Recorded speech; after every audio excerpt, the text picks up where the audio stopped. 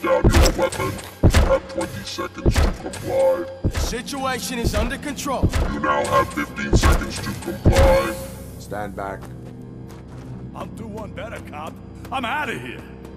You now have 5 seconds to comply. Four, I said Three, everything is under control. one. Ed, I am now there. authorized to use physical force.